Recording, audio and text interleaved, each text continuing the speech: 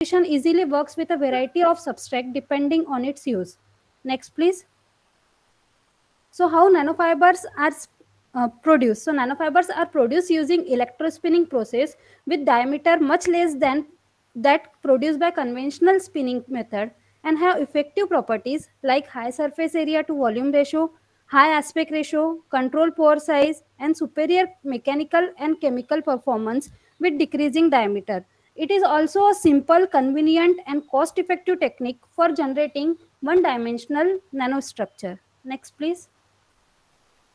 So coming to my host material, that is yttrium aluminum garnet. So what is it? It is the binary composite of yttrium oxide and aluminum oxide. It has excellent properties like, like high tensile strength, high elastic modulus, inherent oxidation and reduction resistance at high temperature, high melting point, high temperature creep resistance, excellent optical properties with zero birefringence and optical isotropy.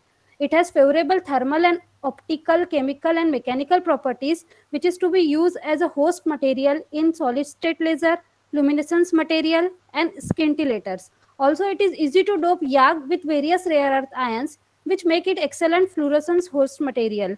It is known as oxide with highest creep resistance, having high melting point of 1940 degrees Celsius. It is used in many harsh applications like missile dome, transparent armor, hypersonic flight windows, etc. Next slide, please. Next slide, please.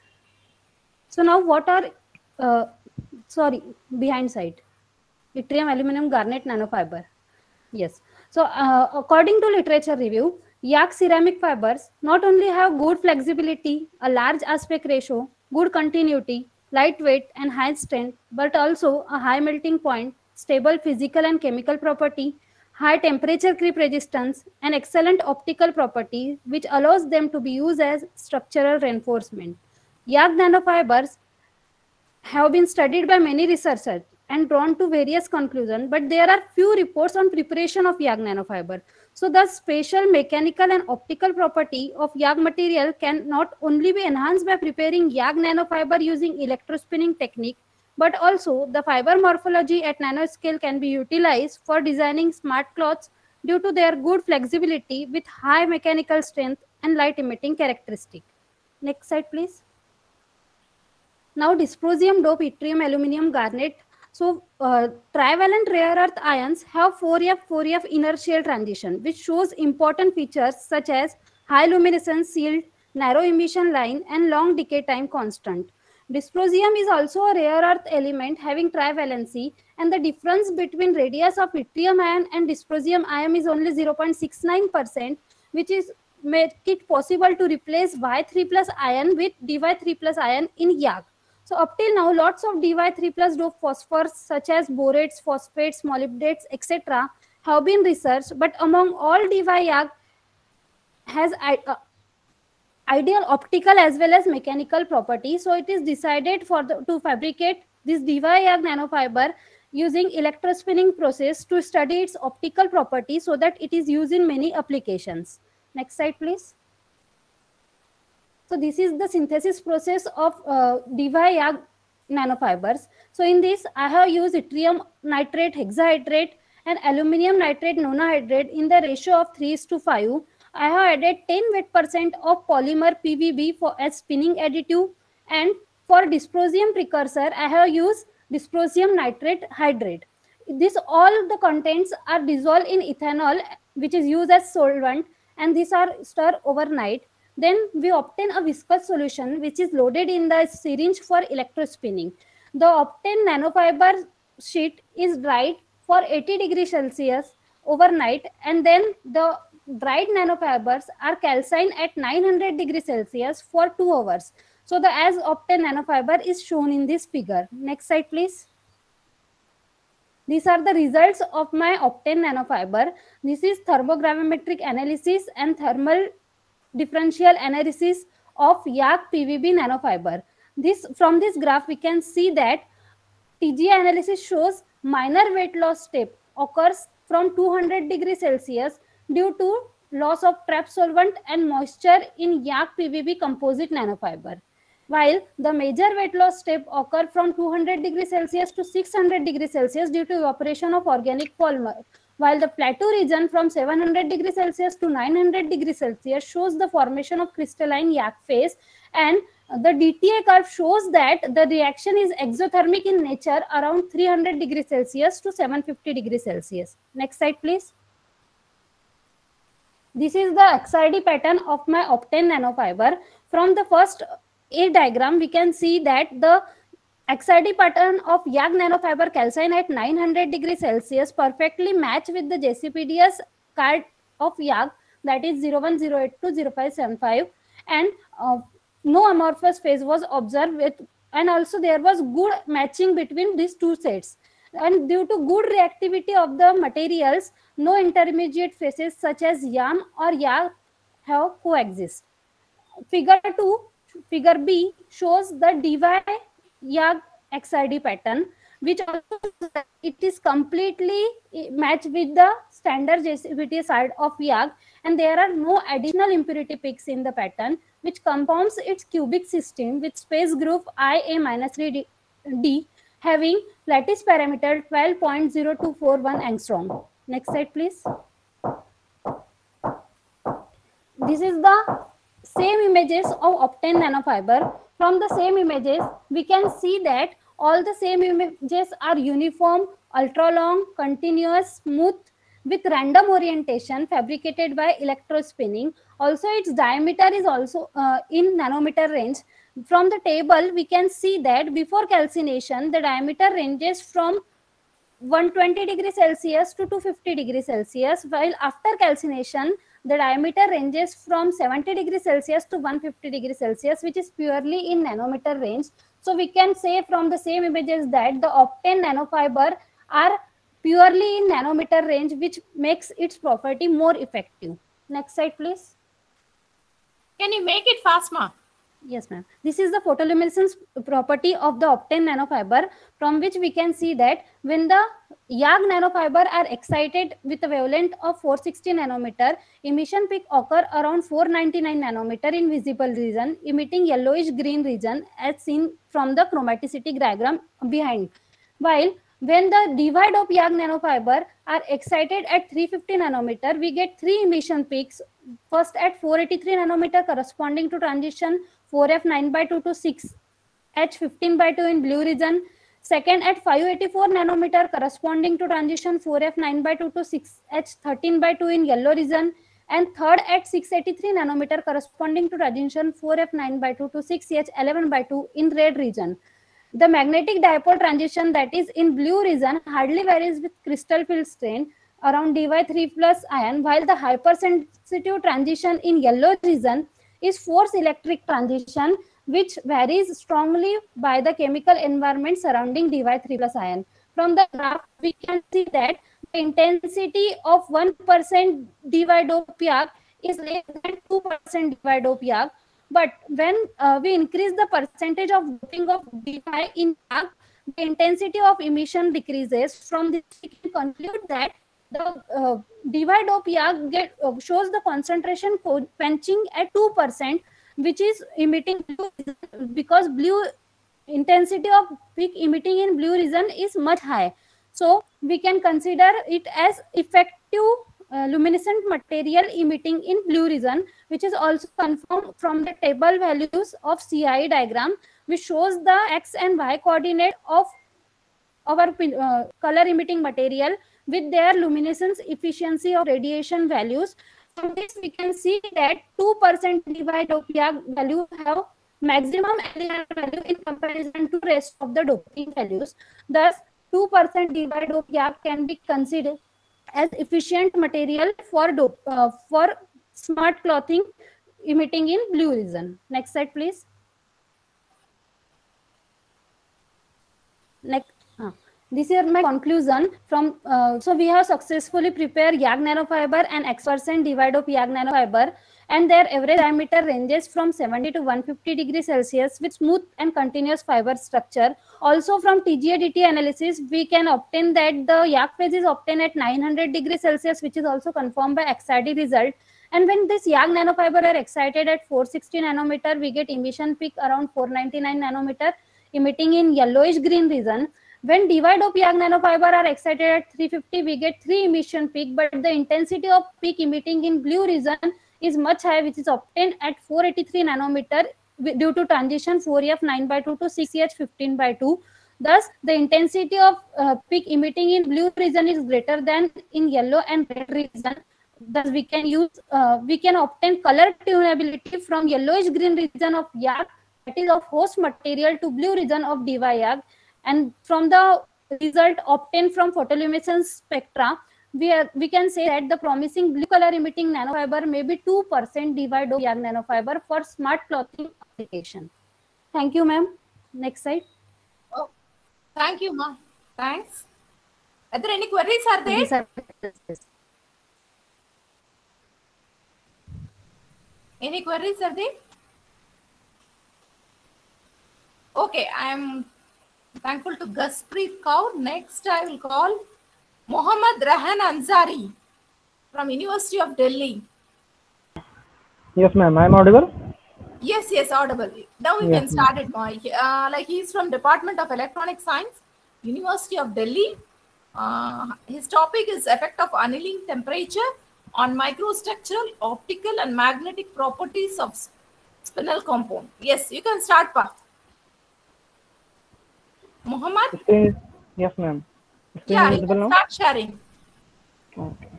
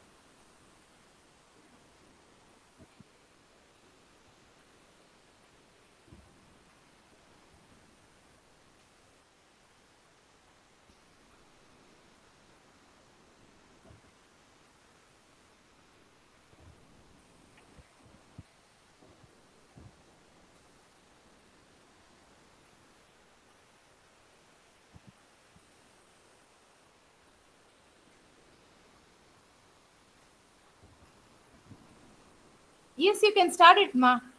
Muhammad? Actually, ma'am. Yes, ma'am. Actually, it is not uh, responding my laptop. Just give me one minute, ma'am. Yeah.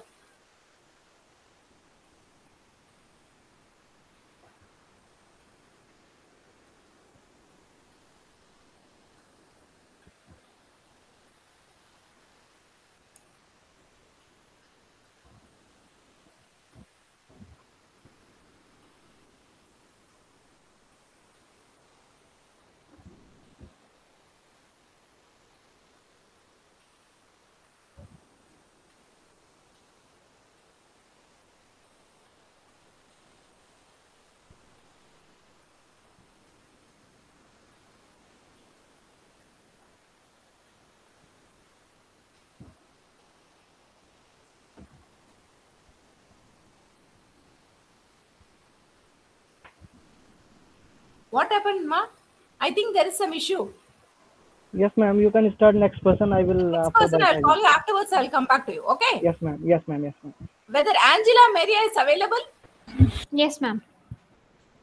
Yes, Ma. You can start your presentation. Angela, she's from uh, Department of Chemistry, Central University of Tamil Nadu, Tiruvarur. She's going to talk about impact of end-capped units on the resistive switching memory behavior of DAD ar- uh, architect ester flanked quinolines. Yes. You can start, Ma. Okay, ma'am.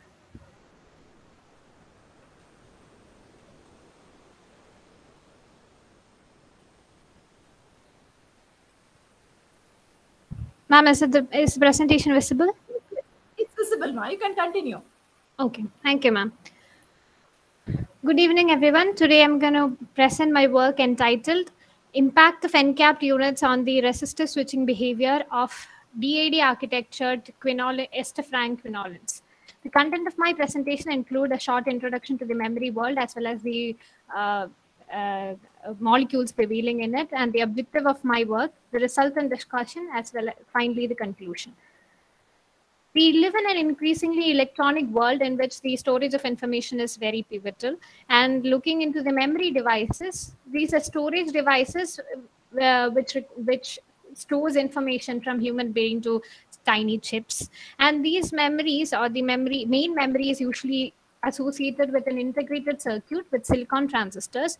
These are now being fastly replaced by organic molecules. And the organic memory started in the 1960s, and its first reports were, were, were in the uh, mo acene molecules. But coming into the organic memory, these organic memories are mainly divided into two types, that is the volatile and the non-volatile memory. Volatile memory, as its name suggests, uh, requires a constant replenishment of uh, data, uh, replenishment for uh, storing its data.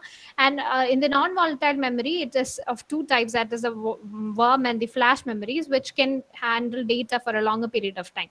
It is uh, worm, which is the write once and read many times memory. It is a electrically irreversible memory, and whereas flash, it is a electrically reversible memory these organic memories came into the picture through the uh, donor acceptor systems and these have been highly appreciated for its uh, vast applications like intramolecular charge transfer and uh, the molecules with uh, small alterations in the molecules we can uh, alter the uh, electronic energy levels and thus form an optimized band gap so thus, uh, a balanced p and n channel behavior can be contributed to the in the molecules, and this is highly suitable for the electronic applications. Looking into the molecule of my interest, which is quinolines, quinolines are highly known for its high thermal stability and photoluminescence, and because of its uh, planar structure and, and the fused ring structure and the um, central nitrogen atom, it usually acts as an accepting molecule, which when attached to a donor molecule, molecule can enhance its accepting properties. And these are also known for its self-assembling properties and pi-pi stacking uh, properties as well. These have been highly investigated, not highly investigated in the field of electronics, but still shows applications in OICs, OIFAT, OLED, DSSC, etc. And but there have been no reports in the organic memory areas looking into the objective of my work, which includes the synthesis of new DAD ester-flanked quinolines for the uh, development of highly efficient small molecules for memory devices, and the alteration of band gap of the molecules with different substitutions, and uh, the characterization of these molecules by spectral techniques, photophysical, electrochemical, and morphological studies, and finally the memory uh, device fabrication and performance analysis looking into the synthesis scheme of my uh, molecules, initially the uh, quinoline derivatives were derived from the 5-bromoisatin, which on uh, which when underwent a Pfitzinger reaction with uh, corresponding um, acetophenone to yield the compound 1, which is a uh, dibromo derivative of the quinoline, which on uh, further esterification gave the compound 2 and different uh, donor moieties that is the uh, triarylamine amine was used as the donor molecule and its different acetylenes were prepared. And trirabine went, underwent uh, monobromination and dibromination, and uh, further um, uh, Sonneck coupling reaction and deprotection to yield the compound 4. And the compound 5 on Suzuki coupling reaction with tertiary butyl phenyl boronic acid uh, gave the compound 6, which on iodination and further Sonneck coupling and deprotection gave the co uh, corresponding acetylene 8. And this uh, another derivative of TPA was uh, synthesized from uh, TPA itself with Vilsmeier-Haack formylation reaction, uh, which gave the compound 9, which an iodination and further Sonneck deprotection, Sonneck coupling and deprotection gave the acetylene 11. These uh, aldehyde was then converted into its corresponding uh, cyanide and then underwent the Sonneck coupling and deprotection to give the compound 13 these molecules, these acetylenes, uh, uh, uh, coupled with the uh, dibromo derivative of the quinolines uh, under com conditions with DMF and DPA as solvent and uh, base with and for five to six hours gave the target compounds. So these are the targeted molecules in which the triarylamine act as the donor molecule and the acts as the acceptor molecules, and we have connected these molecules with the ethylene group, uh, ether, uh, acetylene groups for increasing the conjugation. Also, the uh, there have been uh, these triarylamine have been encapped with electron donating and withdrawing substituents for understanding the structure property relationships. This is a cor- corresponding proton NMR spectra of the molecule. The uh, uh, ethyl ester uh, methyl ester proton ap- appears at 4.09 ppm, as well as this is the carbon NMR spectra, in which the uh, acetylene proton carbons appears at 88.92 and 91.99 ppm. This is a mass spectrum of the uh, representative molecule, uh, 14C. The calculated M plus value is uh, corresponds with the uh, measured value. Also, looking into the photophysical properties of the molecule, all the molecule exhibited a uh, good UV spectra with uh, lambda max in the range of uh, 320 to 4, 340 to 2, uh, 420 nanometer, with the molecule 14B having the highest intensity in absorption, whereas all, all the molecules exhibited a broad emission spectra as well the photophysical parameters of the molecules were tabulated here and the uh, and the Stokes shift of the molecules are interesting with the molecule 14b having a Stokes shift of 213.6 nanometer which could be highly beneficial for the intramolecular charge transfer. And looking into the electrochemical properties of the molecule all the molecules exhibited a uh, irreversible oxidation and reduction peaks. Uh, and these oxidation peaks were, were used for the uh, calculation of HOMO-LUMO values and the band gap of the molecules. And the band gap of the molecules ranges from 2.63 to 2.98 uh, electron volt, uh, with the molecule 14B having the uh, lowest, lowest band gap. These experimental values have been highly supported with the computational values as well looking into the memory characteristics, the memory uh, devices were fabricated by using the glass, uh, ITO coated glass as the substrate above which the active layer of the compounds were um, coated and on which the silver electrodes were placed. Initially, when we apply voltage of 0 to minus 3, the device is in the off state and uh, after threshold voltage of minus 1.2 volt, the current abruptly changes from 10 raised to minus 6 to 10 raised to minus 2 uh, so, uh, so the device switches on. And this device is in the on state even in the further sweeps from 0 to minus 3 and in 0 to plus 3 as well. So this is the uh, representative worm memory behavior wherein we can only write once and read many times, but it is not erasable. Angela, you have only two more minutes, ma. Make it okay. fast. Okay, ma'am. Uh, so all the all the molecules uh, exhibited the worm memory behavior itself, with the molecule 14A and 14B having the highest on-off ratio of 10 raised to 4, with the threshold voltages of minus 1.25 and minus 1.10, and stabilities were measured with uh, endurance and retention tests. Uh, looking into the uh, proposed mechanism, uh, it was found that the uh, hole injection from ITO to uh, HOMO of the molecules is easier than the electron injection from silver to uh, uh, the LUMO of the molecules. Thus, the holes were found to be the major charge carriers in the system. And uh, looking into the ESP diagrams of the molecules, we found that there is a continuous conduction pathways with with uh, their the red parts that can act as uh, traps in the molecule traps in the molecule that is that is uh, derived from the electron accepting groups. That is the quinoline group as well as the uh, 14c and 14d having the n cap units of uh, cho and uh, cn can in, uh, can increase the voids uh, the red units. So th- thus this increases the threshold voltage also the homolumo levels of the molecule 14a and 14b shows uh, good charge transfer with uh, homo ha- electron density situated in the triarylamine and the lumo density situated in the quinoline units, which has been improved by the LUMO plus 1 and LUMO plus 2. This is the reason for the higher uh, on-off ratio of the molecules 14A and 14B. So on conclusion, we uh, derived uh, new synthesized new uh, DAD systems have been designed synthesized by using ester-flank quinolines as the core moiety. And these new compounds are characterized by spectral techniques. The photophysical electrochemical studies were performed. The, all the molecules showed good uh, worm memory performance with an on-off ratio of 10 raised to 4 and the threshold voltage of minus 1.1 volt. These electron uh, donating end caps gave the highest resistor switching with low threshold voltages, and the me- mechanism of the uh, memory devices include includes uh, includes both the charge transfer and charge trapping. Thank you. Very good presentation, Angela. Whether anybody has queries? Okay, thanks. Thanks a lot, Angela. It's really a good presentation. Thank you, ma'am. Then I would call Lipsa Mondal. Lipsa Mondal? Yes, ma'am. Ma'am, Very- am I audible? Yes, yes. Okay, okay, ma'am. Thank you. You can start your presentation. She will be talking about uh, about recent advancement in nano opto electromechanical system and application. She is from Gargi Memorial Institute of Technology, Kolkata. Yes, you can start, ma.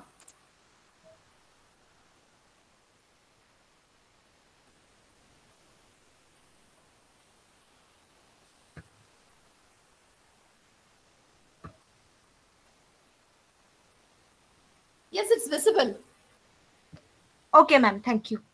Uh, so, good afternoon, everyone. I am Lipsha Mondal. Currently, I am pursuing BTech in Electronics and Communication from Gargi Memorial Institute of Technology. Uh, so, I would like to thank my co-authors, Mr. Obhijit Mojumdar, and our faculties, Mr. Hiranmoy Samanto sir and Mrs. Uh, Shampadas madam. So, uh, today my topic is uh, nano opto electromechanical system. Mm, actually, I am highlighting the recent advancement in nano opto electromechanical system and its application. So this is the flow of the presentation uh, and uh, my next slide. So uh, here I'm going to tell uh, the recent advancement of nano opto electromechanical system. So controlling mild propagation in one of the maximum critical demanding situation is optics and photonics and has direct effect on optical communication such as modulation, optical switching tool and community uh, reconfigurability in addition to sensing and imaging like uh, beam uh, steering from the overall overall legal uh, guideline of uh, electromagnetism it's far clean that such manipulate may be executed both via way of means of a version of the refractive index in a given medium or via way of means of a uh, displacement of the bodily obstacles among media and various indices. So here is my second slide. So here this is the uh, image of the nano opto electromechanical system. So here you can see the electronics uh, mechanics and optics part. So uh, the nano opto electromechanical system combine three physical systems uh, those are electronics, mechanics, and optics. Mechanical deformation mediate direct and inverse effect between the system. In particular, NOEMS uh, means uh, nano opto electromechanical system allow enhancing uh, electro-optical effects through mechanical degrees of freedom. And uh, if we see the artistic view of nano opto electromechanical system electro electrostatic force between two electrodes and optical force in coupled subwavelength wave guidance and coupled charges mechanical displacement and the optical fields. And here is my uh, next slide. So here is the application domain. Uh, in this technology uh, the technology can make contributes to the um, advent of uh, latest uh, merchandise and new organization in a totally vast variety of packages and protecting numerous uh, societal challenges. And here is uh, some examples. Consist of the sector of biophotonics and medicine such as colonoscopy gastroscopy um, and uh, uh, uh, next is micro displays uh, like sensors barcode readers slmas micro projectors micro cameras hmds and next is optical microscopy like mi- miniature confocal microscope micro um, in interferometers uh, business endoscopy and the optical uh, microsensor like uh, lively guide system on lithium niobate etc and lots of more.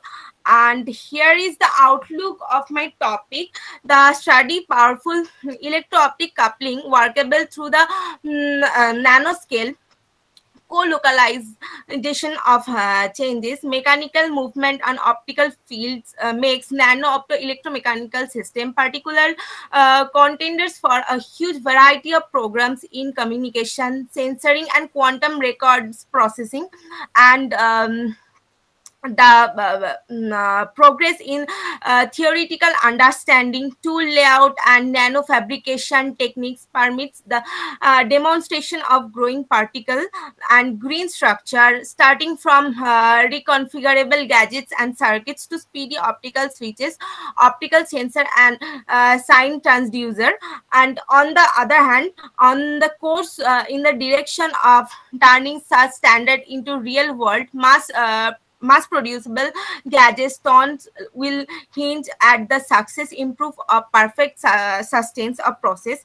Well uh, sweet as CMOS and foundry stage fabrication packing too uh, will should be addressed for the reason that mechanical gadgets require isolation from the surroundings together with vacuum in a few cases.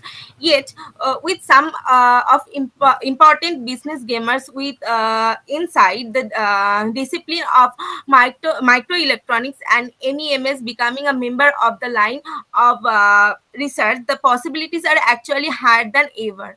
Thank you, ma'am. Okay, thanks, ma. Thanks a lot. Anybody has queries? Thanks, ma. Uh, next, we'll go to Trishita Mishra. Trishita Mishra. Yes, ma'am. Yes, Yeah, ma'am. I'm audible. Yes, yes, yes. You can start. She is also Okay, thank from you. the Gargi Memorial Institute of Technology. She will be talking about a comprehensive review of evolution of a nano generator. Yes, ma, you can continue. Yes, ma'am. Yes, ma'am. Is visible? No, ma. Yes, yes. Okay. should. Ah, yes, it's visible. Okay, ma'am. Okay.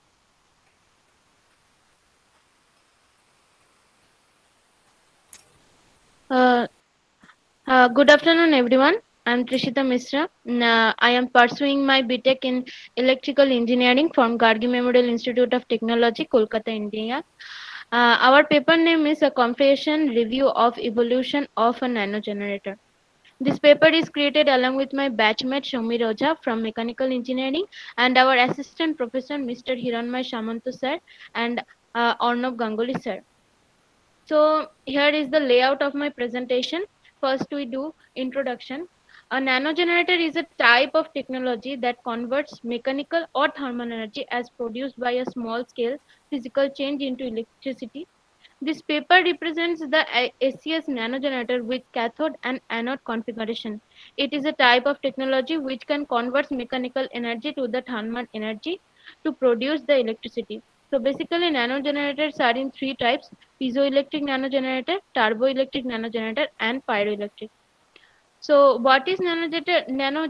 So a sort uh, technology known as nanogenerator transform mechanical uh, or thermal energy generated by minute physical change into electrical energy. Piezoelectric, triboelectric, and pyroelectric nanogenerators are the three most common types. The mechanical energy can be converted into electricity via triboelectric and piezoelectric nanogenerators. However, thermal energy can be obtained from a time-dependent temperature variation using pyroelectric nanogenerator. Next, uh, there is some literature review uh, which we work current.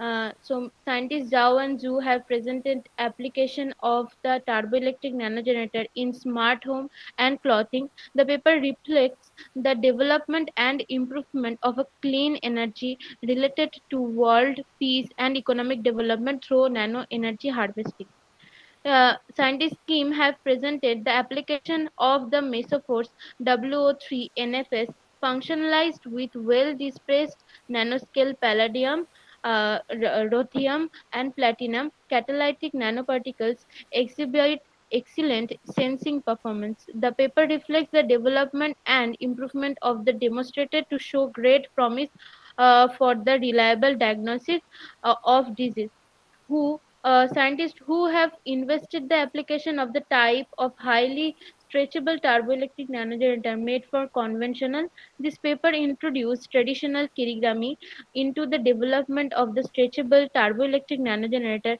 and also used for powering an LCD screen and lighting LED arrays. There is some another literature review. Next, the applications. Numerous beneficial applications of piezoelectricity included uh, like sound generation and detection, printing with a piezoelectric inkjet, producing high voltages, creation of electronic frequencies to operate an ultrasonic nozzle, microbalance, and incredibly precise optical assembly focusing. It serves as the foundation uh, for several automatic re- resolution scientific instrumental techniques known as scanning probe micros- microscopics, uh, including STM, AFM, MTA, and SNOM. Additional, it is employed in a particle application like quartz watches, time reference, and as the ignition source of the push start propane barbecues and cigarette lighters. An example of an AC voltage multiplier is a piezoelectric transformer. The piezoelectric uh, transformer uses acoustics coupling instead of magnetic coupling, which is the method used to regular transformer to connect its input. Then the methodology, uh, how does the piezoelectric generator work? A significant portion of electric engineering fo- focuses on conditioning electricity while another significant portion focuses on finding new ways to generate it from nearby sources of energy. A revolutionary type of sensor called piezoelectric generator immediately converts mechanical energy into electrical energy without requirement uh, for the rotational motion associated with generators. Since a piezoelectric generator doesn't require any moving component, it's may built to be very small, dependable, and durable. It's also make uh, signal conditioning simpler. There are many distinct kinds of piezoelectric elements as illustrated below, uh, and uh, and each one has unique shape and set of properties. In this post, let's go the great detail of operation uh, of the pyroelectric gener- generator and its characteristics.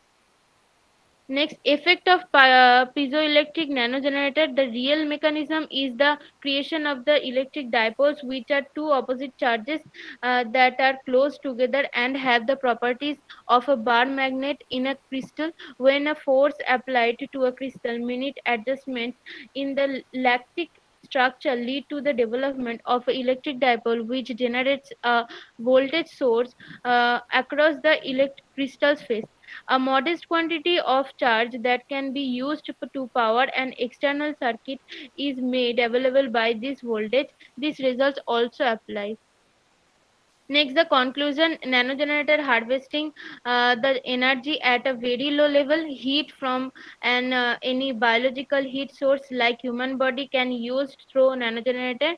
Uh, nanogenerators have a wide variety of application. The future of the nanogenerator will provide a more precise and optimized result and monitorized. Th- that's all. Thank you. Thank you, Ma. Thanks a lot. Anybody has queries? Okay, good presentation. Next, I will call Mohammed Rahan Ansari. Mohammed Rahan Ansari. Mohammed, are you over there? Yes, ma'am. I'm here. Yes, ma'am. I'm here. Uh, then you can start your presentation. Okay, ma'am. He is from electronic science. He is going to talk about spinel materials. Yes, ma'am. Continue, ma.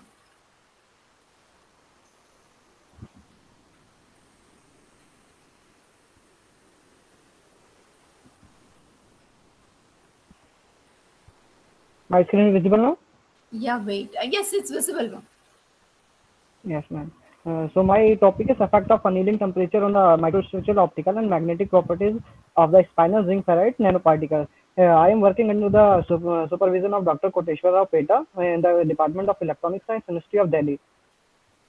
So content of this uh, uh, introduction, material methods, result and discussion, conclusion, the future work. So the I started with the introduction. The zinc ferrite is a brown crystalline powder with a cubic structure. Ferrite is the first choice because uh, it has a many application. The microwave application as uh, as of nowadays uh, the interference is there, so we need some microwaves to be absorbed and should not be there due to the inter- interference. And it has also high resistance, micromagnetic properties, and ease of preparation. Uh, the basic formula, if we talk about basic formula, it is A- AFE204, uh, and uh, A is placed on the tetrahedral sites, and Fe is placed on the octahedral sites. Zinc is also a lower band semiconductor, and it, it is also physical and chemically stable material. If we talk about the tetrahedral position, so it is the tetrahedral position where the six item oxygen items uh, under the uh, above the uh, octahedral position, and the tetrahedral four oxygen items are there. And uh, application of this is ferrite material in the magnetic recording, photocatalyst, microwave. Uh, as we talk about microwave absorber, gas sensing also, harmful gas sensing, antibacterial. It is also uh, application for antibacterial packaging of application, and also in permanent magnet. So if we talk about the mat- uh, uh, it is synthesized by lot of methods.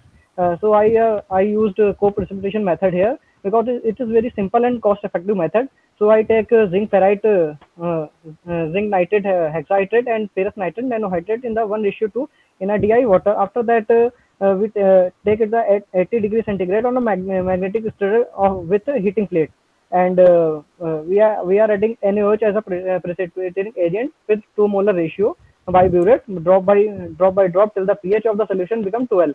After that, uh, take it for 10 minutes without disturbing it, uh, and after that it will filter out uh, by the Whatman paper number one.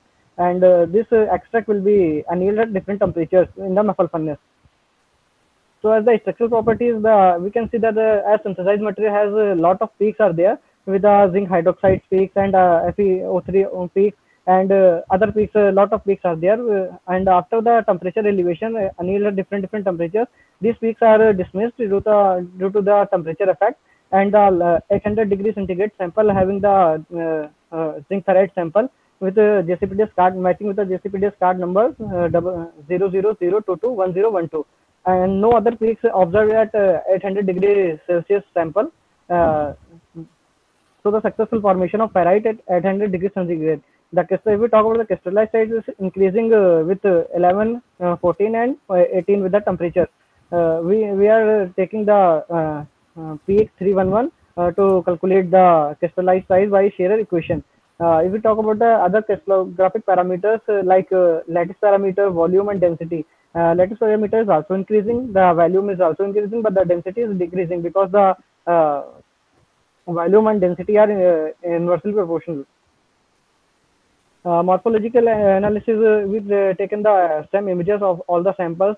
As we can see the figure A, B, C, D with as synthesized 400 degree centigrade, 600 centigrade, and 800 degree centigrade. The crystallized size is increasing and the agglomeration is also de- decreases because of the heating effect and uh, uh, here the agglomeration is there because of the magnetic nature of the particles. This is ferrite particles, Fe. So because of the magnetic nature of these particles, the agglomeration is there. But the, after the temperature elevation, uh, the crystallized size increases and the magnetic magnetization is uh, decreases. Uh, the EDX spectrum also confirms the purity of the material, uh, having the peaks of Z and Fe and O items, and no other peaks are identified in the EDX spectrum. It confirms the successful, successful formation of the zinc ferrite uh, material. If we talk about the FTIR analysis, uh, which uh, gives the chemical bonding in the our sample. So we see we can see that the synthesized sample 4 degree 400 degree centigrade, 600 degree centigrade, at 800.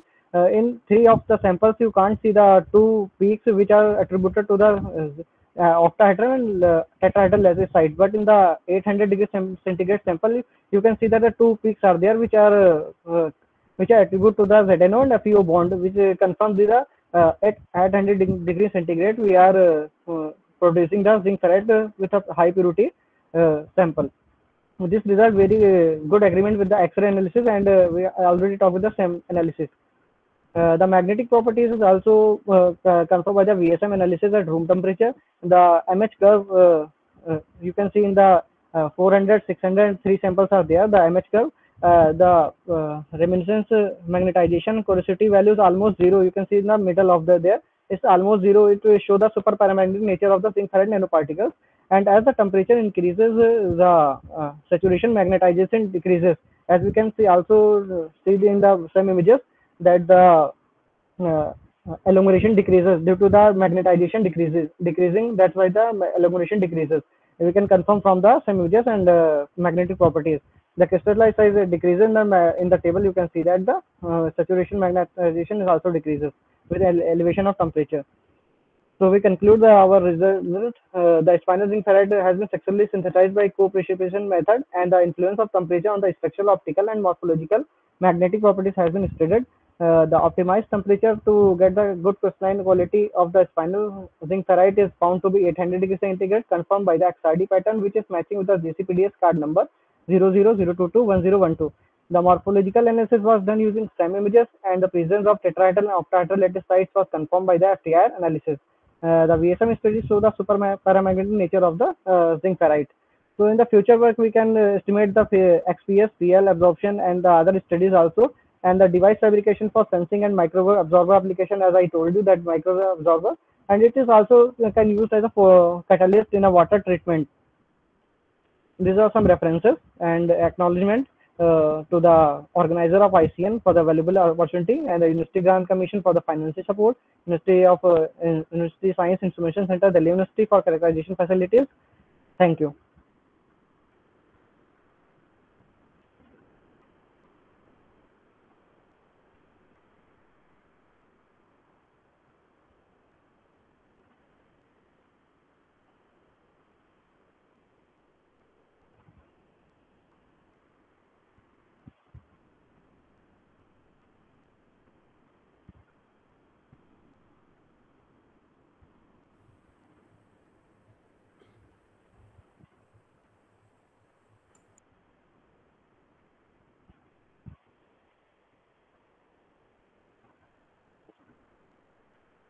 Hello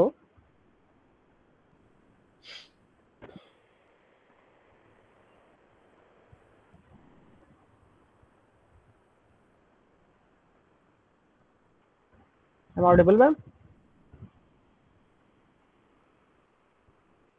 yes yes adam ma'am is here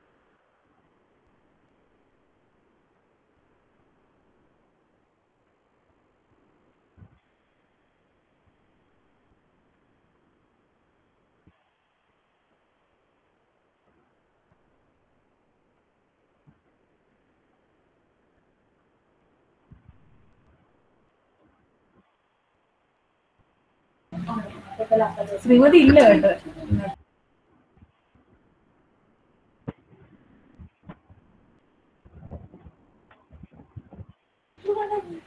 Hello. Ye- Yes, sir.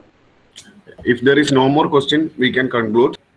So thank you for sharing, Srimadi. Uh, Srimadi K.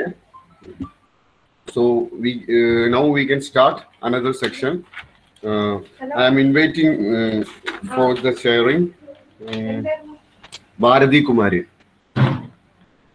Department of Chemical Engineering, uh, Indian Institute of Technology, Dhanbad. Bharati Kumari, are you there?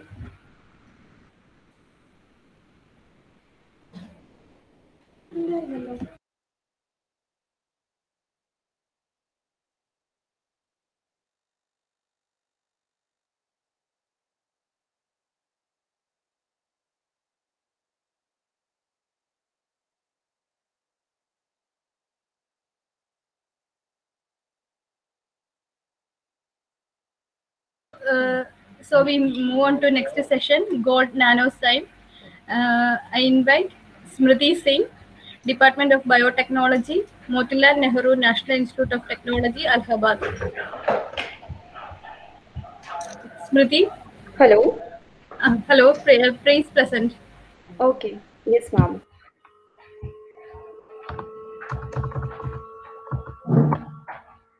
Uh, so good evening to uh, good evening to organizer of ICN uh, 2022.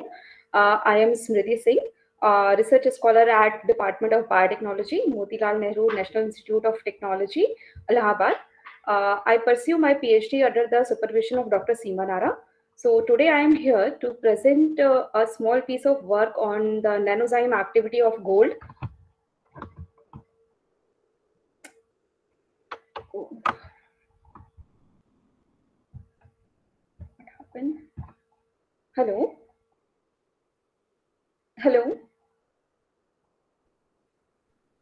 Uh, so, uh, uh, the topic of my presentation is gold nanozyme. Uh, we are exploring a, a special uh, category of uh, enzyme-like activity in gold nanozyme, that is a, a acetylcholine esterase mimetic activity. So these are the content of my presentation. Uh, it include the introduction, work plan, result and discussions, conclusion, acknowledgement, and references. So with the introduction, uh, nano, what are nanozymes? So nanozymes are the artificial enzymes which have intrinsic enzymatic-like activity. Uh, these intrinsic enzyme-like activities are reported in various metals, metal oxide, magnetic composite, and bimetallic nanomaterials. And these, uh, these properties of these nanomaterials are using in various sensing applications. So why we are going or we are using nanozymes? So uh, there are some limitations of natural natural enzymes, like they are they uh, they are very fragile in some harsh condition, harsh environmental conditions. Uh, their stability, uh, their uh, high cost of synthesis, isolation, and purifications. So to overcome these uh, these problems of uh, nanozyme, we, uh, uh, natural enzymes, we are trying to uh, explore the nanozyme activity in some uh, in some metal uh, nanoparticles. Uh, these nanoparticles are highly they possesses high catalytic activity. Uh, their production cost is low. They are highly stable in uh, harsh environmental conditions. Their production, their commercial or mass production are more more easier in comparison to na- natural enzymes. They can easily tunable and uh, they can be easily modified also. So we are exploring gold uh, nanostructures because they are very well known for their excellent biocompatible properties, electrical and optical properties. Uh, there are various kind of uh, gold nanostructures uh, in their shapes, like they are spherical nanoparticles, nanostars, nanocages, gold composites, uh, have been possesses various uh, enzyme-like properties like peroxidase, catalase, oxidase, uh, superoxide dismutase, or ribonucle- uh, ribonucleotide-like activities. Uh, so uh, we are exploring the acetylcholine esterase-like activity in gold nanostructures. Uh, we uh, this is the the equation one represent the simple conversion of acetylcholine. Uh, so in the presence of acetylcholine esterase, acetylcholine converted into choline and acetic acid.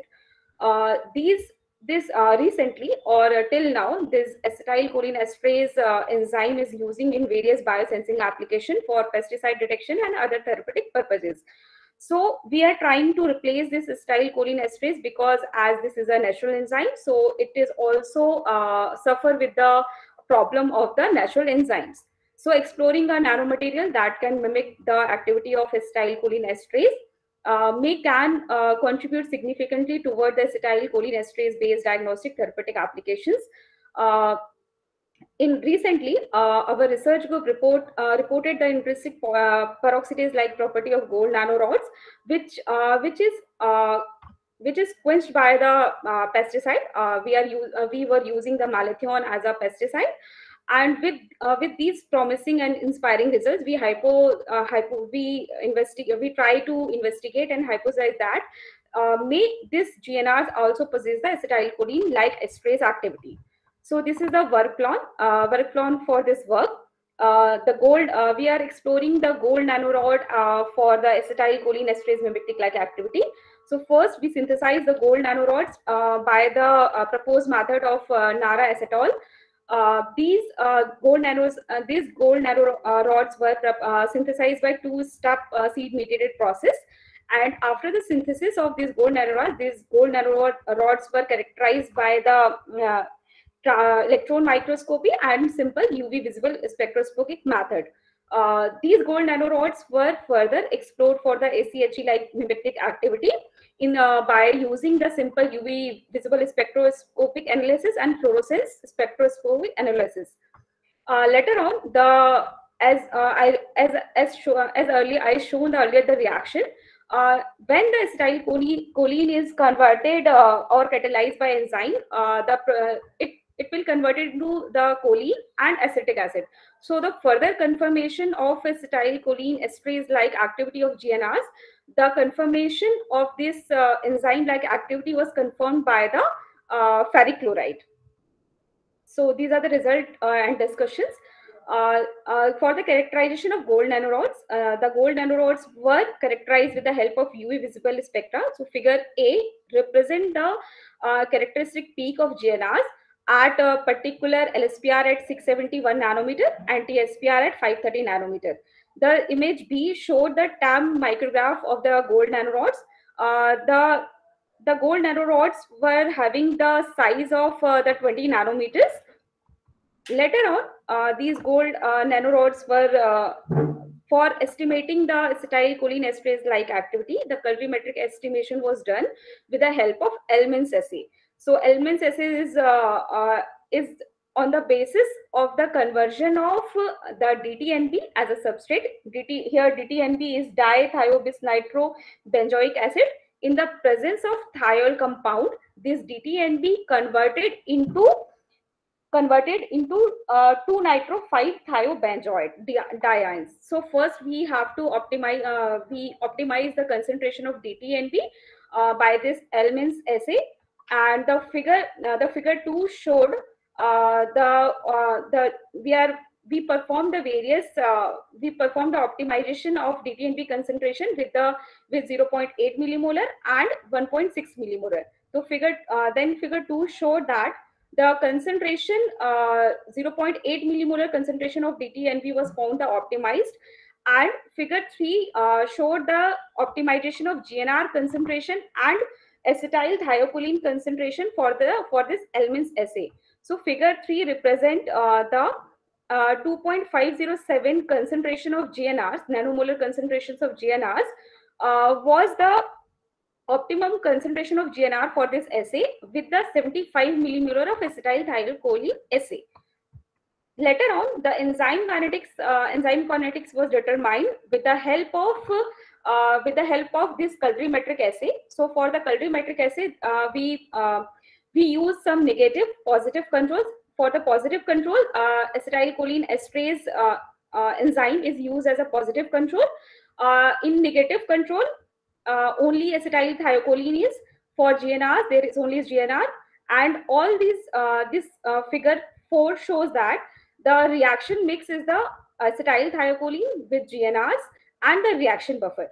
So it indicates that the peak, uh, the peak of the reaction mix uh, in comparison to uh, positive control indicate that the GNR have the uh, GNR had convert the acetyl thiocholine into uh, choline. So uh, the peaks, the corresponding peak with the positive control.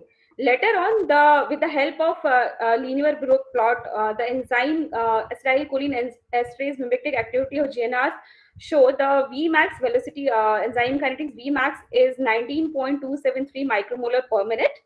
Later on, uh, this conversion is also confirmed with the ferric chloride in the presence of acetic acid, which is a byproduct of uh, this conventional acetylcholine uh, reaction. The acetic acid, um, Okay. Ms. acid, yes, ma'am. could you please uh, conclude the presentation within a minute?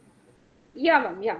So uh, with the uh, with the ferric chloride in the presence of acetic acid, the ferric chloride converted into uh, into the uh, ferric acetate, uh, which is in cherry brown color and in the precipitate. So as we can say, uh, sh- show in the table, in the presence of GNRs, there is a precipitate formed.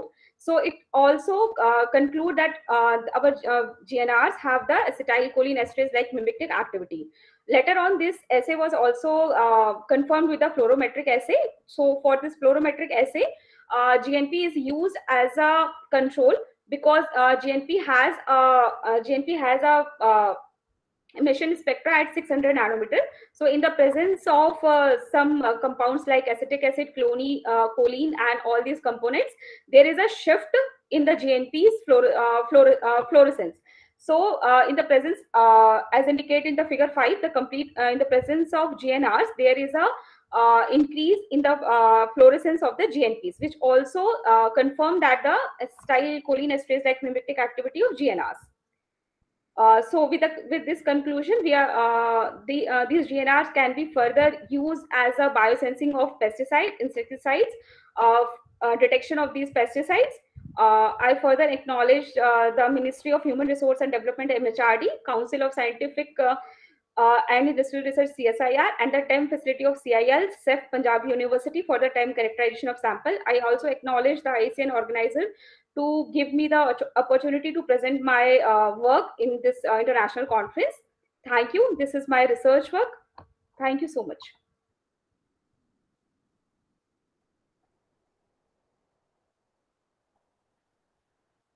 Hello. Hello.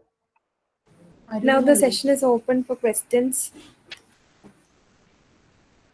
Do anyone have any questions?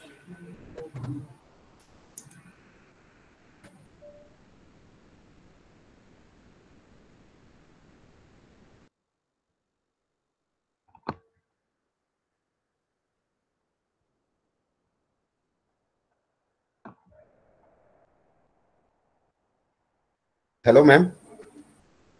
Hello. Uh, can you hear me? Yeah, yeah, yes, sir. Uh, what is the difference between acetylcholinesterase uh, and uh, cholinesterase? So uh, basically, acetylcholine esterase is an enzyme which converts acetylcholine to choline. Uh, okay, sorry, sorry. You are asking about acetylcholine esterase and choline esterase. Yes. Yeah. Uh, so uh, both of these are the esterase which can catalyze the ester as a substrate. Uh, so uh, both of these can use uh, for the conversion or hydrolysis of acetylcholine.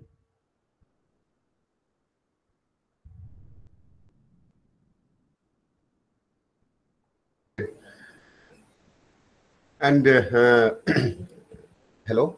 Yes, sir. Uh, what is its inhibitors? Um, Uh, sir, uh, if we if you are talking about uh, their inhibitors, uh, Yes. what we are trying to explore there are the uh, organophosphates, which are uh, the major contributors as a inhibitors for these pestis uh, for these enzymes. okay. So uh, we are trying to explore some uh, diagnostics uh, prototype for the detection of these pesticides on the basis of the uh, gold nanoparticles as a enzyme substitute. Okay. Thank you. Yeah If there are no more questions, I welcome uh, Arul and Eldon to present his work. Arul, uh, are you there? Yes, ma'am, I am here. Am I audible? Yes, you are audible. उसकी केरी से problem नहीं थी अच्छा नहीं हुआ। और पढ़ के करते तो अच्छा होता। एक टाइम की बड़ी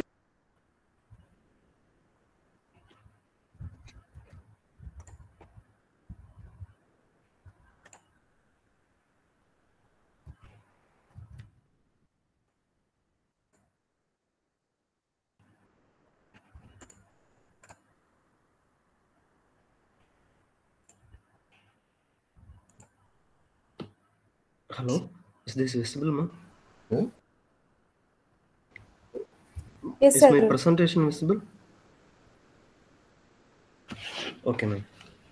Uh, good evening, everyone. I am Arulani Eldon, Professor Scholar in Physics, Central University of Tamil Nadu, Thiruvarur.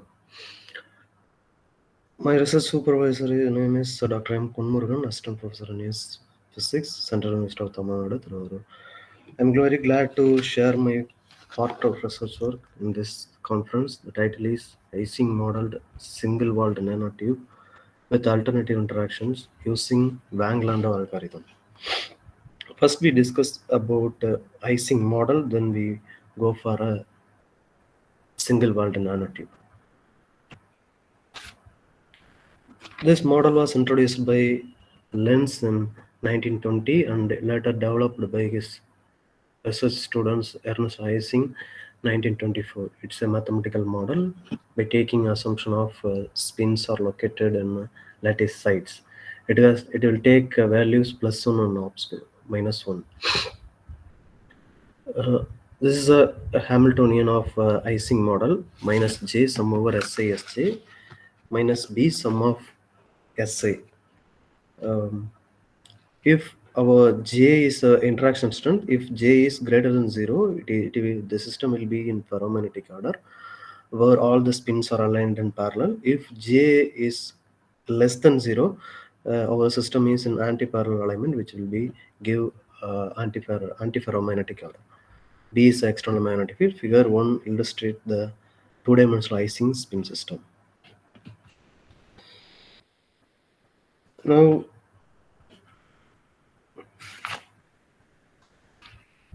the Ising nano, nano-sized Ising magnetic objects uh, like particles and uh, uh, magnetic rings and magnetic wires, magnetic tubes has numerous wide range of applications such as magnetic uh, drug delivery and uh, nanomedicines and uh, nanomagnetic imaginary imaging, long-lasting magnetic devices that motivates us to model and investigate the properties of magnetic systems with uh, Monte Carlo simulations. In this work, we have taken a hexagonal tube-like structure.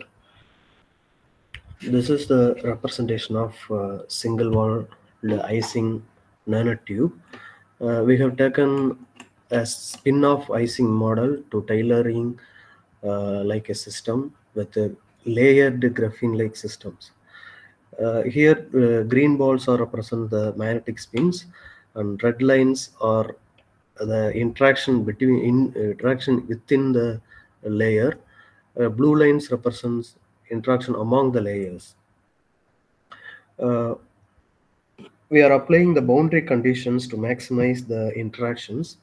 Uh, here, x and y, we are applying closed boundary conditions. In y z direction, we are applying uh, open boundary conditions.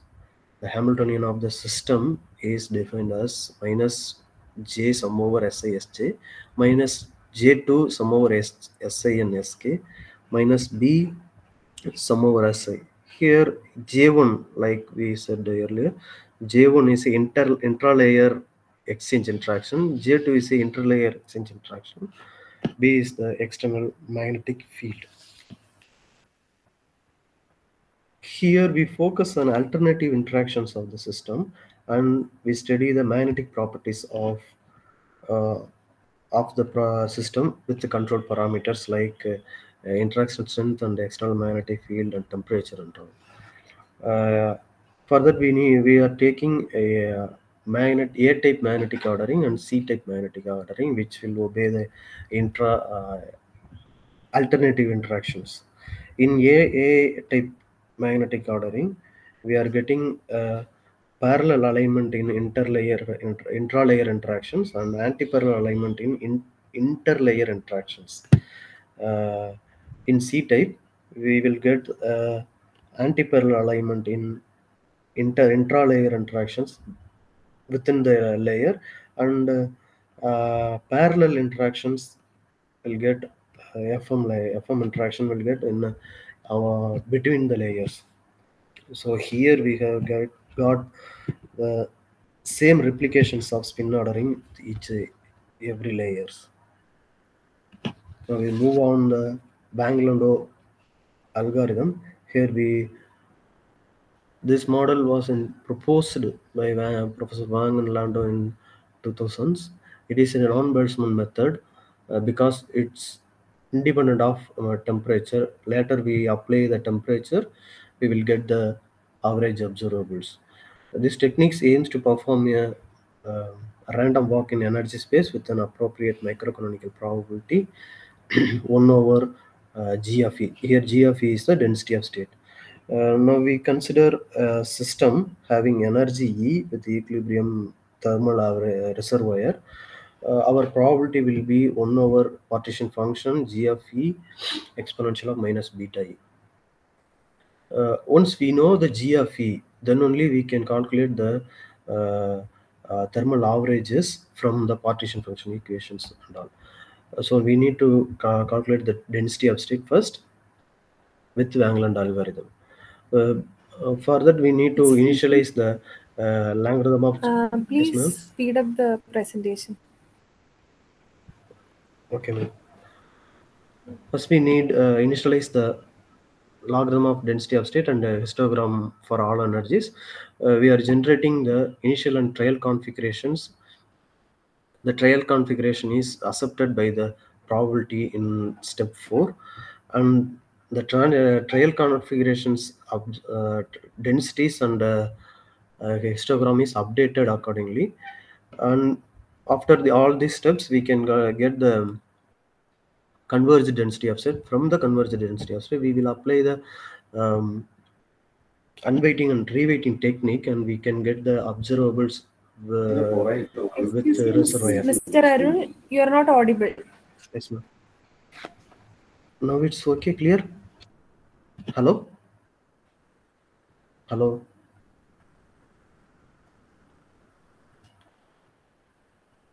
madam is that audible madam hello hello Continue with the presentation. hello Yes, it is audible. Uh, please continue. Uh, okay, ma'am. Uh, after calculating the density of state, we are uh, uh, taking two uh, type of simulations. Once uh, we are uh, giving the system uh, absence of magnetic field and presence of magnetic. field. In the absence of magnetic field, the AFM, uh, A, A type AFM uh, systems, uh, the interactions of J1 will be changed from 0.2 to 1 and uh, J2 is remaining con- constant minus as minus 1 in c type the interaction is start from minus 1 to minus 2 minus 0.2 and the j2 interaction is will be 1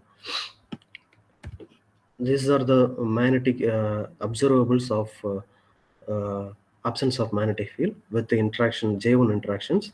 Here uh, in four uh, magnetization and susceptibility plot will be is depicted here. The transition temperature is increases as J1 increases for uh, air Arun? interactions and the Arun? temperature decreases for please J1 conclude interactions. Yes, sir. Yes, sir. Two, three slides only there. I'll conclude, sir. Um, so phase diagram, as temperature increases, the AFM will be become paramagnetic and C type will become a pa- paradynamic as temperature increases.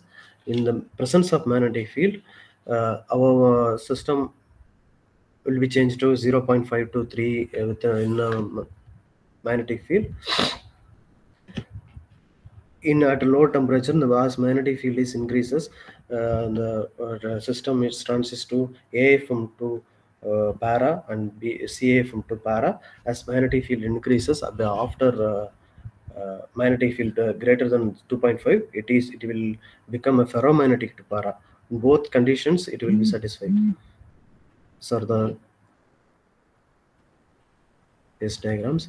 And in the entropy diagram we will get the uh, we'll confirm the second order phase transition if the, there is no discontinuity in these plots so we confirm the second order transition. So in in this conclusion section we are taking the notes is the AFM interactions AFM and CAFM uh, phases are converted to paramagnetic phase uh, in the absence of magnetic field in the presence of magnetic field the CAFM and AFM uh, phases are changes to paramagnetic phase below the uh, 2.0 magnetic field. FM and uh, uh, phase is changes to paramagnetic phase above the 2.0 interactions.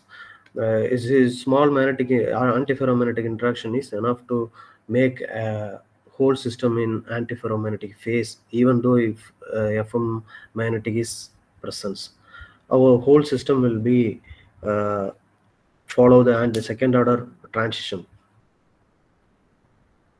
These are the references and thank you. Hello. Uh, thank you, Arul, for your presentation. Now I call uh, Mr. Sandeep Kumar to start the presentation. Good evening, ma'am.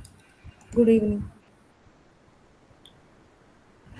I just give me some minute.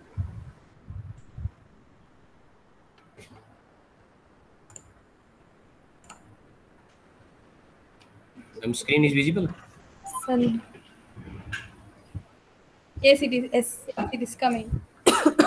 Okay, ma'am. Thank you. Good evening to all conference members. Today I just uh, present the abstract on the topic interaction studies between the protein and a carbon nanotube using a molecular docking software. And I will do all in the guidance of uh, Mrs. Dr. Sunita Negi, ma'am, under which I have PhD. And I have the just uh, work over the whole of this interaction.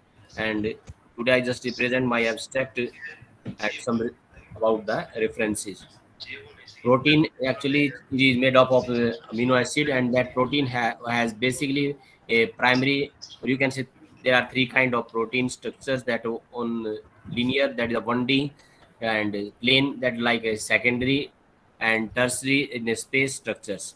In the case of linear structure amino acid that are considered as beads of a necklace like that on and they join together to form a peptide bonds to form protein structure.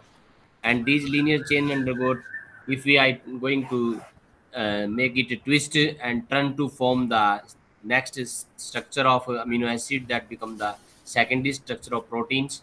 And that are generally called as the alpha helix that depend on the shape and beta helix when the x y z axis that all are come in contact naturally that it form the space and they have the 3D structure of protein that was formed. Uh, nanoparticles, which are very small and in the order of 9, 10 h power minus 9, have unique properties that may be useful in diverse or different range of application. Basically, that application we are going to use in biomedical science and biotechnology, and uh, that will, uh, after study, we it will attract significant interest particularly in the field of biomedical field. And that uh, use of nano vaccines uh, nowadays they are very familiar because of nanotechnology improvise and it will help uh, to, in today so much uh, medicines as well as injuries as well as neuron systems that all will work under this uh, development of biomedical science with the nano vaccine and nano drugs that basically intensely research and nowadays as we know all the corona that also be under the research these all are only helped with the help of this interaction. And that interaction of nanoparticle with the protein is the basically of nanoparticle that have a bioreactivity and when they react they will show the some bioreactivity. And this interaction give to rise the formation of a dynamic nanoparticle protein like corona. It will uh, form like shape of corona. The main aim of that work is to study the interaction of protein with a nanoparticle using that software that is the VMD Visual Molecular Dynamics and the another software that is a molecular software docking software. Uh, it also be used for the studying this interaction uh, for a short small molecule basically visual molecular dynamics is a molecule modeling and it is shows the excuse me. Sandeep, please speed up the presentation. Okay ma'am. Visualize computerization program and that is docking software is basically used to predict small molecules such as uh, drug candidates that help in receptor uh, or study the molecule interaction. Bind to receptor of non 3d structure. The interaction between the protein and nanomaterial is important for the point of application of nanomaterial delivery. And in this work, the basic interaction of a myoglobin protein is studied using autograph software. In autograph to find out the interaction that basically used to find out the interaction between the carbon nanotube and myoglobin protein. And that is corona-like structure formed, which looks quite similar to the structure reported by the workers. That is uh, under work and that these are the some references that help me. Thank you to all. Yes ma'am. Thank you sandeep for your presentation. Now i call. Thank you ma'am. Can i stop? Yes, yes okay, i call you. jyoti s uh, doddamani She's oh, yes ma'am. Department yes. of studies and physics Karnataka University. Yes, ma'am. Jyoti, Good evening. Proceed. and Good evening, everyone.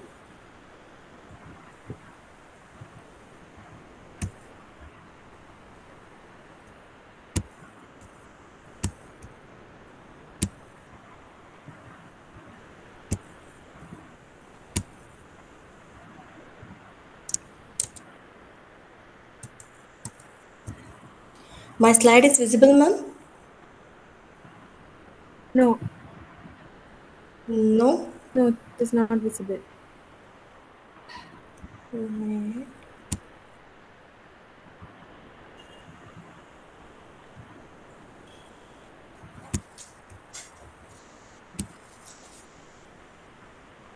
Now?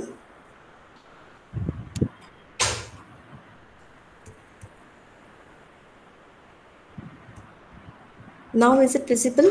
Yes, Jyoti, please proceed. Yeah.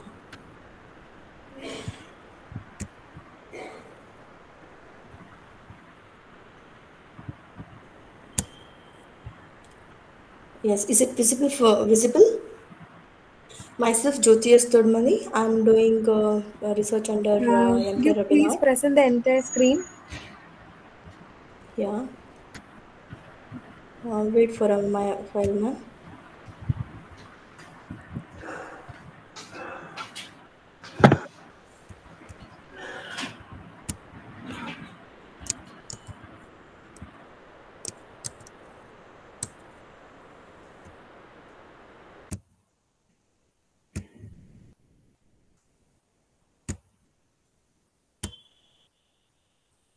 Now is it visible entire screen, ma'am? Yeah. Is it visible entire screen? Yes, it is visible. Please proceed. Yeah. Myself, Jyoti S. Doddamani. I'm a research scholar in the Department of Physics, Karnataka University, under the guidance of uh, Professor M.K. Rabinal. Uh, today, my work is uh, what I'm presenting here is modification of bare nickel plate for water splitting. Now, outline of my work is the introduction and basically hydrogen evolution by electrochemical water splitting, modification of Ni plate for the water electrolysis, and research and discussions. Now, the question comes: Why only hydrogen?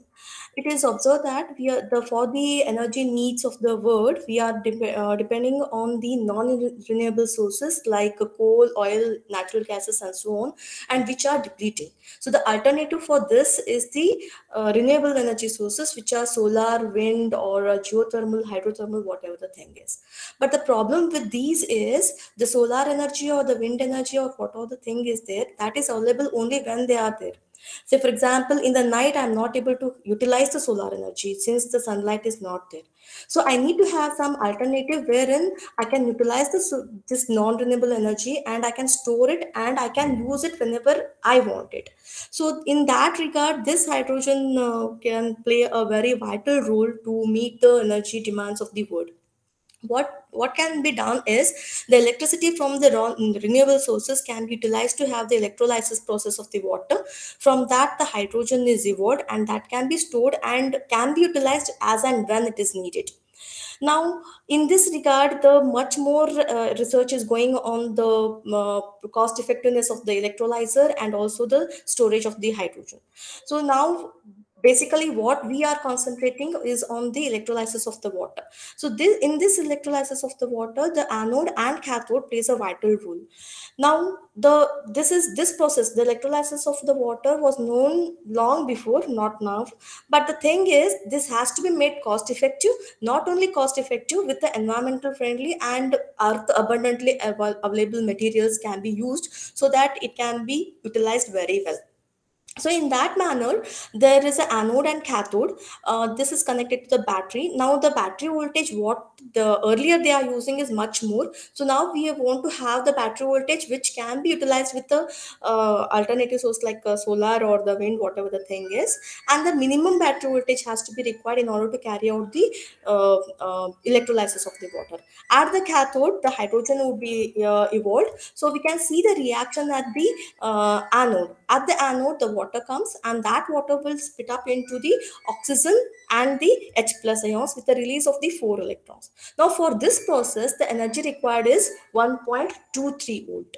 And at the cathode, the H plus ions which are released and also the H plus ions which are present in the uh, electrolyte can come into the cathode and they interact with the electron and then they can have the evolution of the hydrogen. Now for that, the energy requirement is nil there. So the overall the voltage which is required thermodynamically is around 1.23 volt.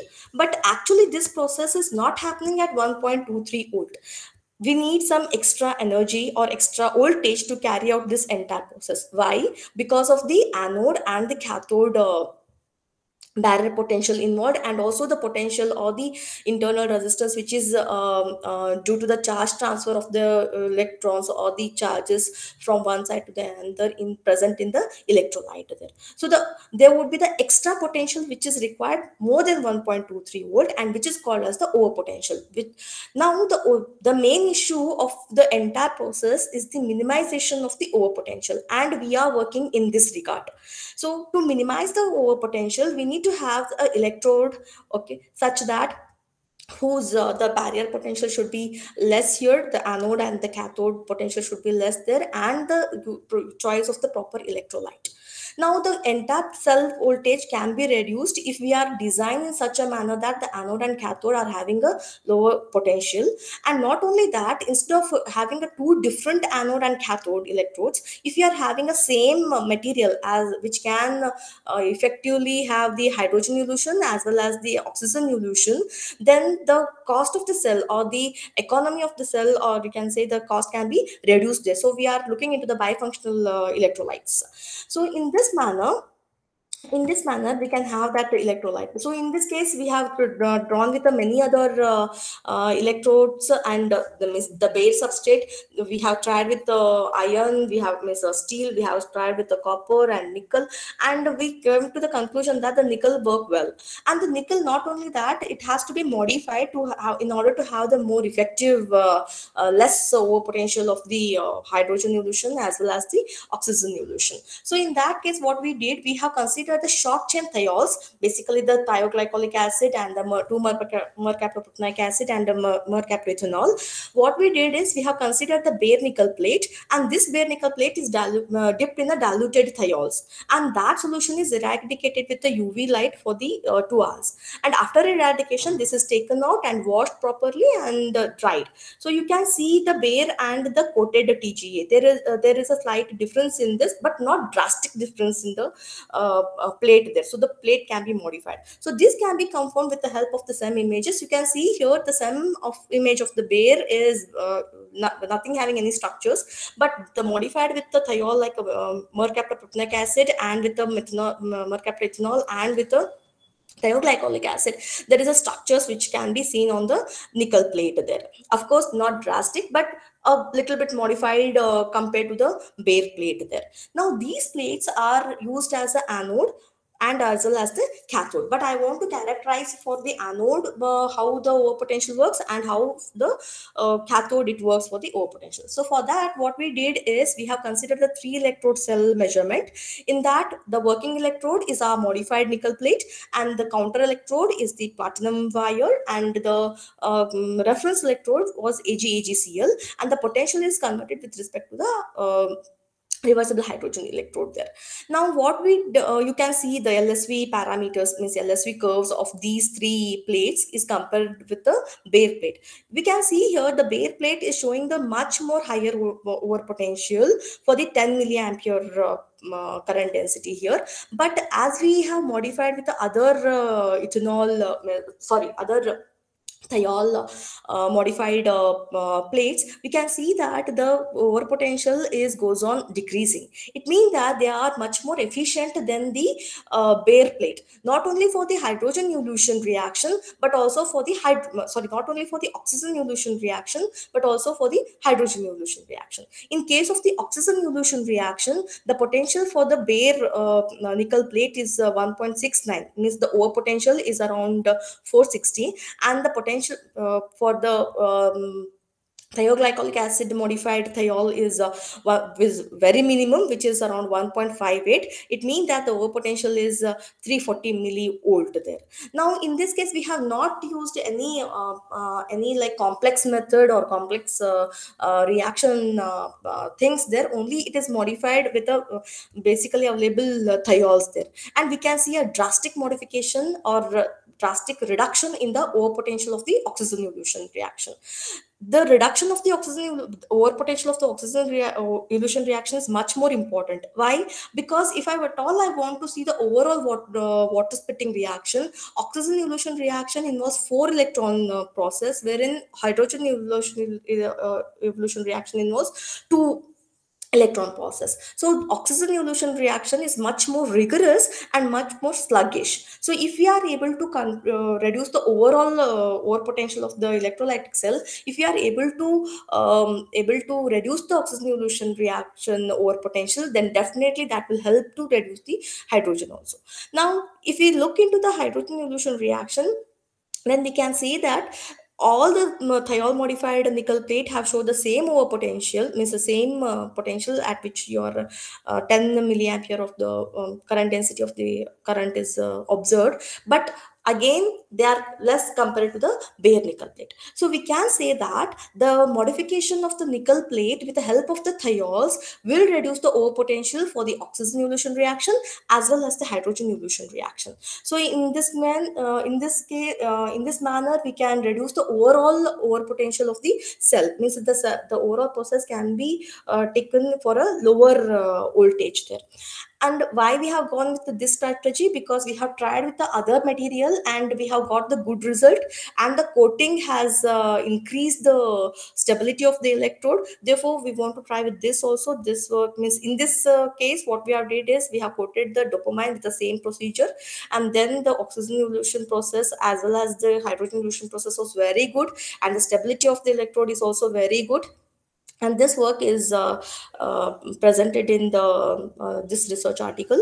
And hence uh, we can conclude that the um, thiol modification of the uh, electrode can definitely help to uh, minimize the over potential of the uh, overall uh, mm, water splitting process. So the conclusion is we can uh, minimize the over potential and the TG uh, the out of those three TGA means uh, thiols which I have used thioglycolic acid has helped more to reduce the over potential for the uh, oxygen evolution reaction. So this is what my presentation is. Thank you. Any other questions?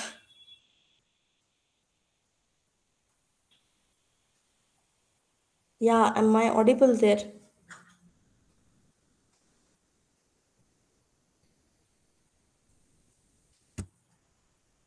yes Thank you, Miss Jyoti S. Doddamani, for your wonderful presentation. Thank you. Are there any questions?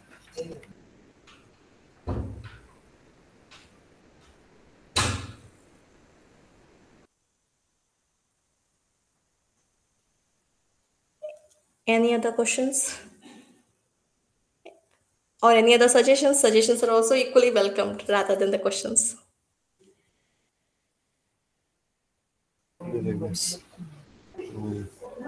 Jodi, Yes, sir. uh, it was nice presentation. Thank you, sir. Um, I need a suggestion from you. Uh, I need Yeah. to, uh, I need to hmm, uh, use a dissolved H2. Sorry, sorry. You need to? I I need to measure Yeah. hydrogen in water produced uh, uh, water splitting. So, Huh. would you suggest a method for that? Hydrogen means you want to measure the amount of the hydrogen which is produced? Dissolved hydrogen. Yeah. Dissol- dissolved H2. Uh, I'm not getting. Uh, you want to produ- uh, measure the hydrogen which is produced from the electrolytic cell? In no no no water splitting. From the water? Ah, Now, wa- uh, water produced water splitting. Yeah, yeah. So Yeah, I I need got to dissolve the now, what happens when. I say the water splitting process? There are several methods which are available. One of the method is the electrolytic method, what I have presented now. But there are other methods like photocatalytic one. Now, in case of our method, what happens? Two electrodes are there. Therefore, at one electrode, hydrogen is produced, and at the other electrode, oxygen is produced. So the mixing of the gas is not there. So this is one of the novelty of this work. Now, what happens is from this uh, other electrode, from that other electrode, you can collect the gas from the uh, container. What uh, usually um, uh, would be done like the two electrodes which are put in the two different uh, tubes and then the common electrolyte and then the process and that gas can be collected and measured. Otherwise means some uh, some people will do like uh, online measurement like this entire setup is connected to the gas chromatography. Now what happens? The gas chromatography will collect the hydrogen and then it will tell what is the amount of the hydrogen which is there in case of the photocatalytic uh, process what happens? The both the oxygen and hydrogen gas would be evolved. So at that time you can collect the entire gas which is uh, produced there. And then again you can give it to the same to the uh, gas chromatography. So at that time it will tell what is the percentage of hydrogen is present and what is the percentage of oxygen is present. So likewise you can measure the hydrogen production. Uh, comment on the hope i clear your doubt Hello. Uh, Yes, can sir. you comment on a brief note on mm, your sorry your your your voice is too low Can you comment on your mm, novelty of your work? Novelty, Yeah. yeah. Novelty, as I told, because in the beginning of my slide, when I talk about my uh, slide there in the beginning of my slide, I told like it is the means uh, uh, it uh, uh, we can have means uh, we are depending on the solar energy for much more uh, aspect. Okay, but in case of the solar energy, what happens when there is uh, no sunlight or when there is a dim light, then the production of that light is uh, minimum. Is the energy is minimum, and the main drawback is we can't store here okay but if i if we utilizing those non renewable sources and then production of that uh, energy from that the electricity and that electricity can be utilized to have the production of the hydrogen. And now this hydrogen can be stored. Now it means that indirectly you're storing the uh, renewable source energy and you are utilizing as and when you required it but if say means it means that in the night means in the daytime you can utilize the sun and have the solar energy and you have the electricity. And at the night time you can go with the hydrogen and then do what all you want. So this is what the main novelty of my uh, work is.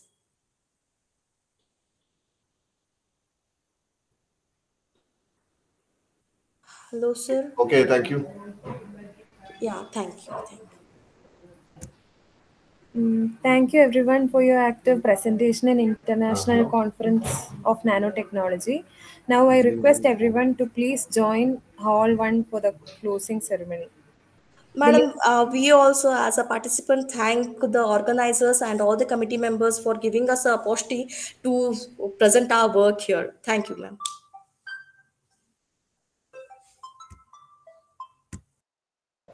The link for the closing ceremony is present in the chat box.